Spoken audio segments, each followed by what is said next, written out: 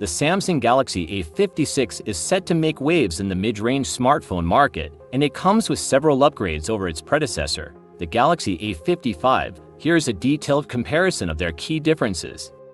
But first, for all the latest tech news subscribe to our channel and don't forget to smash that like button.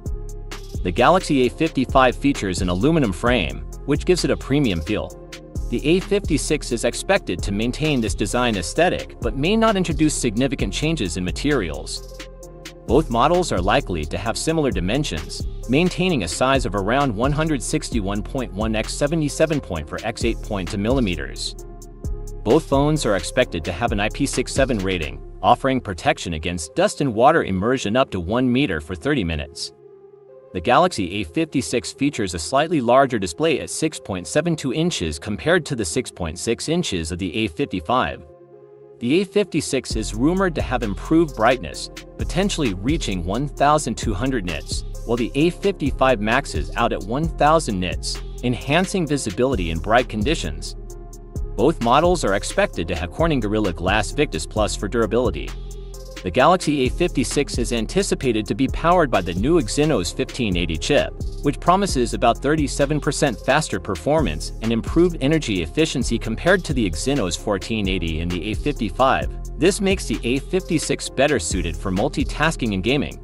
RAM options, the A56 could offer up to 12 gigabytes of RAM, whereas the A55 typically comes with lower RAM configurations. Cameras, rear camera setup, Galaxy A56, 50 megapixel main plus 12 megapixel ultra-wide plus 5 megapixel macro. Galaxy A55, 50 megapixel main plus 12 megapixel ultra-wide plus 5 megapixel macro. This upgrade in the main camera resolution enhances photo quality significantly. The front camera on the Galaxy A56 is expected to be upgraded to 3 to megapixel compared to the A55's 3 to megapixel, improving selfie quality. Battery capacity both models feature a 5000 mAh battery, but the A56 may offer better battery life due to its more efficient processor. Charging speed One of the most significant upgrades in the Galaxy A56 is its support for 45-watt fast charging, a notable improvement over the A55's to 5-watt charging capability. Operating system The Galaxy A55 runs on Android B14, while the A56 will launch with Android B15, ensuring users get the latest features and security updates from day one.